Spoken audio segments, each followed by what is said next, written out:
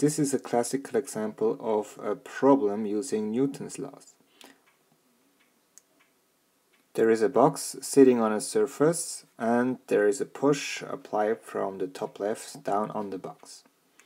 What we're interested in is finding the reaction forces, namely the normal force and the frictional force. We're going to start by drawing the free body diagram or the isolation diagram. To do so, I'm cutting my box out of my drawing here and wherever I cut through something I replace that with a force in the free body diagram. So here I have my push.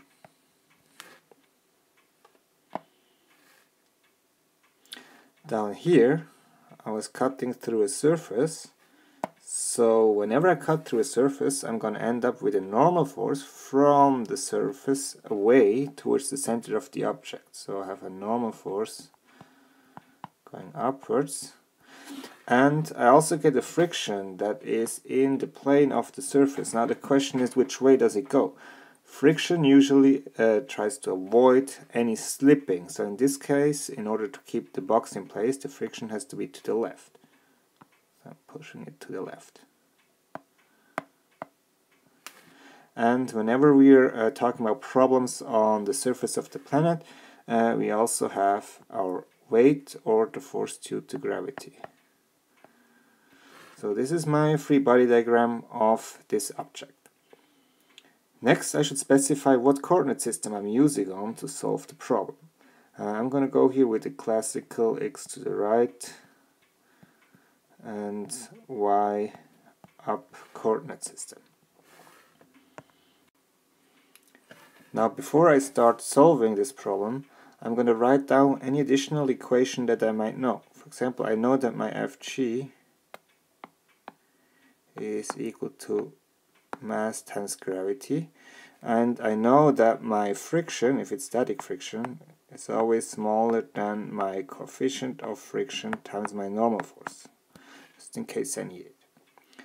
Now I'm going to split up my problem in two directions. I have an x direction and I have a y direction.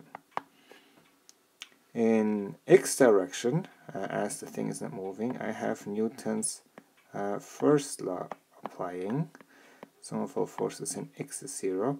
And the same in this case is happening in the y direction. Sum of all forces in y is 0. Now I'm going to look what directions are my forces in. If I start with uh, here my normal force, my normal force uh, is in the y direction, so I put it on uh, the y list. Normal force is in the y direction.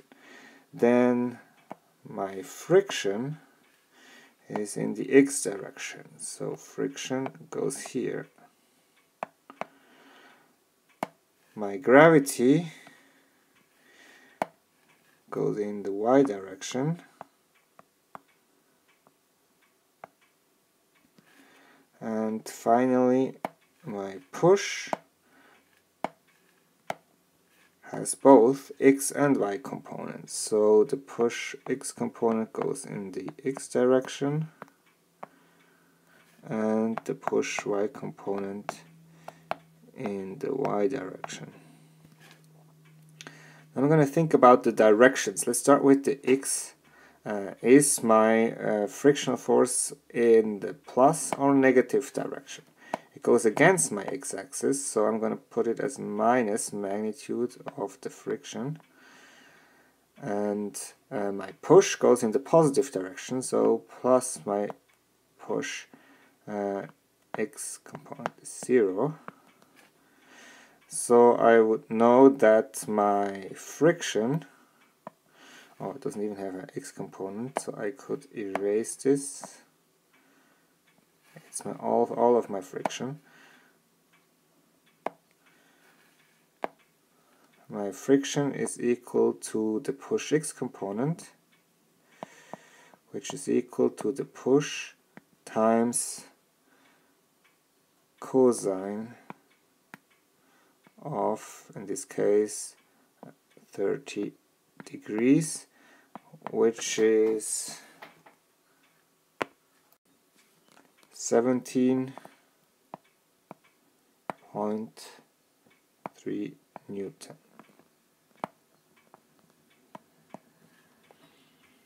I'm going on for the same thing in the y direction. y direction I have my normal force which goes with my uh, y direction I have my gravity that goes against it.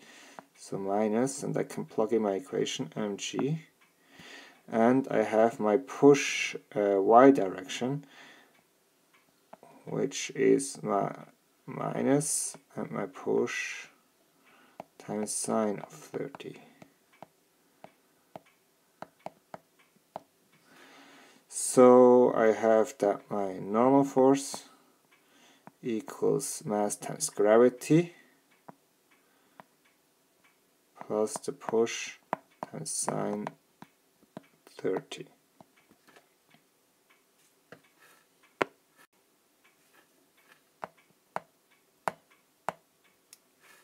So if I calculate this, I get, uh, assuming, let's take some mass, because mass was actually not given, so there was an error in the problem here, let's assume 5 kilograms.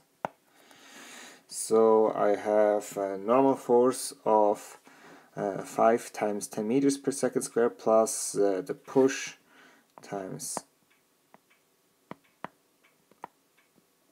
sine 30 10 newtons equals 60 newtons now it was not asked for but I could actually calculate my minimal uh, coefficient of friction needed because I know that uh, my static friction has to be smaller than my mu s times Fn. So my mu s has to be uh, bigger than my friction over my normal force, uh, which is 17.3 uh, over 60.